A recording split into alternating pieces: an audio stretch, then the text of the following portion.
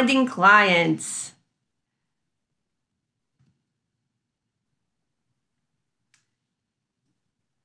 So, as we said, there are a number of ways of finding clients, and there are a lot of prospective clients out there. So, uh, these are just some ways that you can go into a networking events. Uh, is a really great way to find clients. Um, and there are so many uh, wherever you are living and watching this. But for those who are on the Sunshine Coast, where we are, uh, there's some amazing um, networking events related to industry that will help you find clients. So a really good one is LinkedIn Local, free event, free monthly event, and there are business owners there uh, every every month. Like the last, I spoke at the last one, there would there would have been about fifty, um, and you just go there and meet people. You're not there to trying to sell but people say, "What do you do?" And it's like you, you talk about what you do, and then they get to know you, and you say, "Oh, you know, I do free, freelance social media management," and they ask you more, and you exchange cards, and you know, connect on LinkedIn, and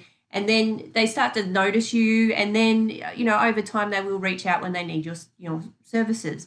Um, it's good to get involved with the different chambers of commerce. So every town will have a chamber of commerce and they have usually monthly events as well. And so these are just all business owners from that town get together and they tend to try and connect and use each other's services. So it's good to be part of that mix. And there, there are other things. There's a chambers of like there's a young chamber of commerce as well. So um, Bronte Creswell, I think, has is very um, predominant in in starting and and making that happen. So she, I think she's on the board for that, and so that has younger business owners, and so again, trying to just use each other's services and connect in that way.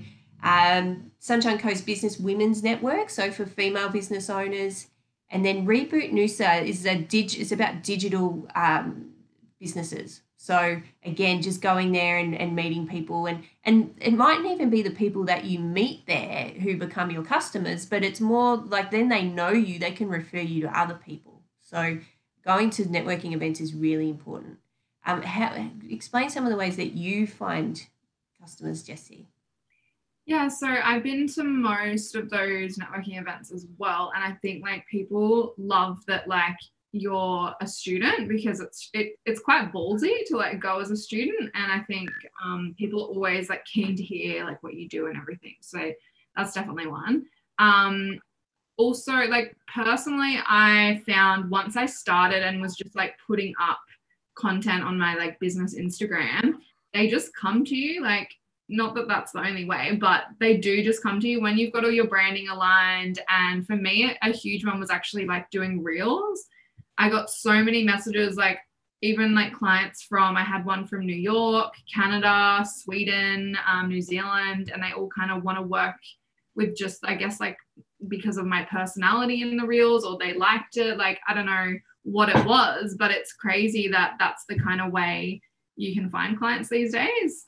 Um, but also like your community boards, like I know I'm from like Noosa, the Noosa area, so the Noosa community board is very active, and people are always asking for different services on there. So just keeping an eye on them for when people might ask for social media help, or you can post it on your own, like a bit of a pitch.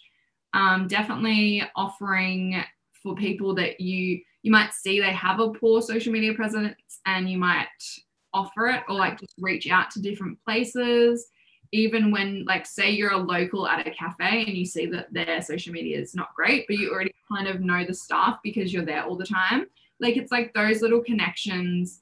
And then honestly like once you start the word of mouth spreads. Like i had so many referrals from people that i'd done a little bit of work for recommending their friends or other business owners to me. Um, so yeah it really just is that whole networking thing, regardless of whether you go to the networking events. It's definitely like building those relationships and doing a good job so that those people then refer you on. And it can be things like, um, even like Karen was saying, like I went to a few of the Reboot Noosa ones, and a lot of them are actually social media agency owners. I think it's like um, Social Tap, Insight, Social Media, um, or I think there's another two in there but they're these like quite big agencies and they said that there's a huge gap for those smaller businesses. So they refer you people, you know what I mean? Um, and I definitely found with uni, like I think a lot of my lecturers, like Karen included, recommended clients to me because they saw that I was doing it at uni. So even just kind of showing to, to your lecturers that you're you're able to do it and you're keen, they'll they'll happily give you opportunities. You know what I mean? Absolutely. And so if you let me know that you are seeking clients, then it's i I put opportunities on our in our Facebook groups, but often no one responds. so um, I'll do that. But if I know someone, I'll put it in there. But if I know someone as well is keen, I'll just send it to them straight away as well. Because the thing is, I I want that business owner to find someone. Um, so I don't whether it's someone through the Facebook group or someone that I email. Uh, my my whole goal is to set them up with someone who can help them and to also help uh, one of our students find some work. So um, you know, if I know that that's what you're you're keen for, then that that'll sort of help as well. So it's letting people know that you are looking to, um, yeah, looking for for clients, and then they will think of you when someone comes to them. And even other, um, like I've met a few friends that are bigger businesses but sole traders, and they're like I said before, they're always so busy. So if they have a client that they would love to take on, but they just don't have the capacity, they'll often refer it to me because I've made that relationship with them. And it doesn't have to be a professional relationship, even if you kind of are making friends within that kind of community, you can really build like a good, even, yeah, like referral network type of thing where you all help each other, you know? Yeah. So, in terms of taking on clients, particularly for the first time, my advice is to start small, start with one. so, because one, like when, if you're doing it for the first time, it'll help you to really refine your processes and um, before taking on more. So, if you took on five clients straight up, like you'll just be out of your depth. But taking on one, it'll it'll teach you about how to um, liaise with that client, your client communication, how you're going to do your research and, and it'll it'll be such a learning experience doing that and you'll gain confidence when you start to get results for them and um, and then you'll feel ready to you know to take on more and you'll you'll have everything in place to be able to support more because the worst thing that you can do is promise things you can't deliver. So by um, by over what, what is it? Over promising and under delivering um, you won't have a business for very long. So what you need to do is um, yeah start start with one and make sure that you give them a really great experience and then that will help with your word of mouth and gaining other clients as well. And it'll also mean that um, you're not disappointing clients because what some businesses do is they um, they put a call out saying, I, you know, I want all this business, but then they don't have the resources to to actually really support it, and then it ends up sort of biting biting them um, in the in the long run because they they couldn't actually do what they said. So that's my advice: is really start small, and um, as Jessie's written here, you know, taking on people that you know um, is also a good idea yeah like i think i, I was working in a news agent um, during my first year and second year and they kind of said oh well do you want to run our socials and just kind of you can like go go off do whatever you want with it so it was a really good practice and then i think we had like a beauty salon next door who we were quite friendly with the owner and she said, Well, do you want to do mine as well? And I'll give you like some free beauty treatments every now and then. So I was like, Okay, that's a good deal. So I got two clients that I could do whatever I wanted with. And it was really fun to kind of just learn the of how I would do it, how I would plan stuff, um, keeping up with like with the news I didn't like promotions coming up or sales. And then with the beauty salon, like kind of getting the inside info on what each um, service is. And I had a lot of one on one meetings with her as well, which you definitely don't have to offer, but it's a good thing when you're starting out to kind of learn like oh should i offer one-on-one meetings with them once a month or should i just talk to them over email or like even those little things so I think it's really good to start out with if it's not somewhere that you work, then a family friend might have a business or your family might run a business. And just, and even with your own um, professional brand profile, like I said, like a business profile, just getting practice on those that you're kind of doing for free or for cheap and you're you're learning as you go. The other thing is to manage expectations. So uh, this means that don't, and this is all about making promises. You have to remember that business owners really do not have a clue as to how long things take on social media. And to get any sort of decent results, you, you're really looking at consistent effort over between three and six months to really get like decent result. Of course, there are anomalies, but it takes time on social media to get results, to build a following, to um, build up the engagement and those sorts of things. Um, it's not going to happen overnight, and so you need to manage those expectations from from the get go. And a lot of agencies they they ask people to sign up for three months or six months at the beginning because they're like, I can't I can't show you any results until after that time that we you know that we actually put in the, the effort consistently. Yeah, the um the agencies I work for both have three month uh, contract. So it's like you're locked in for the three months, and then from there you can kind of choose to renew monthly or another six months whatever you want. But a lot of agencies do big terms and it scares businesses. So I think three months is a really good number because it's like it's not that that long and it also gives you time to make a difference for their for their results basically.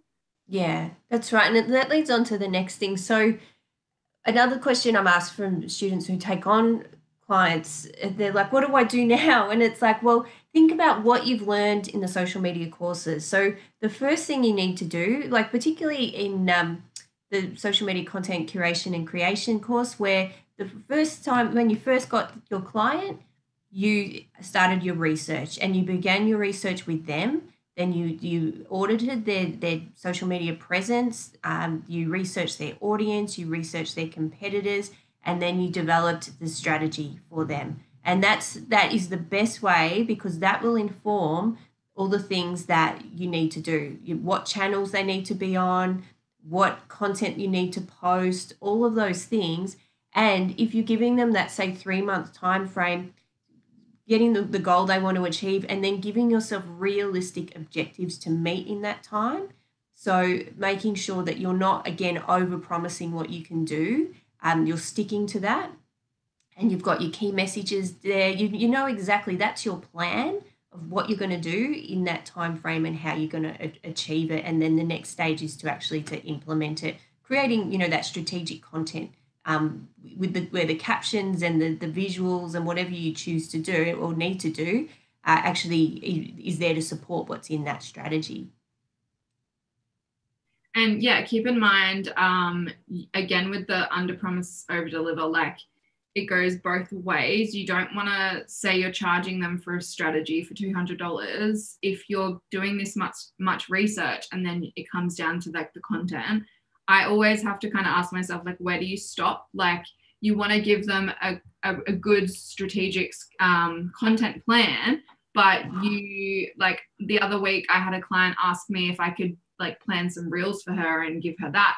And I think you've got to think, like, should that be an extra service? Because that's a whole lot of work in itself um, and just figuring out those things and what works for you. Like I said before, like I charge separately for the the big strategies and the audits, but in the setup fee that I charge, I think it's good to do a little one like that doesn't take up too much of your time, but you always need to have. I, I, I send them business questions and the questionnaire. Um, if anyone wants a copy, I'm happy to like share, but it's goes through like who their target audience is and what their goals are. And then, like Karen said, once you know their goals, like if their goals is to just grow their following on Instagram, then your job is to every week be like engaging and implementing ways to do that. But if it's sales, then you might suggest them to do ads to try try and like drive that traffic to the website, you know. Yeah, and then of course the other part is measuring. So it's that like measuring whether it's a weekly or a monthly just to see i mean we cover this in in um, social media monitoring and measurement as well so what's working what's not working and um, and then how you can improve. And it's measuring what you're doing against those goals and smart objectives to make sure, you know, are we on track? Are we not on track? What we can what can we do to keep getting better? So it's just it's just that that continual cycle. And I think the like evaluation part can be super simple. Like most small businesses that you'll you'll be working with they're not super savvy on social media so like the simplest graph or the simplest um, stats impress them. Um, not that that's always the case, but it can be you can keep it simple and you're literally just trying to show them how your work has moved towards their goal or reached their goal. So yeah, try and keep it simple based on the client, if that makes sense. Yeah, and so you know, show them show them the progress, and then and then also explain what does this actually mean. So this means that what we've been doing is working, so we're going to keep continuing, or we're, we're not moving fast enough, so we're going to try and do this. So, yeah. But that, yeah, so that's, they're the key things.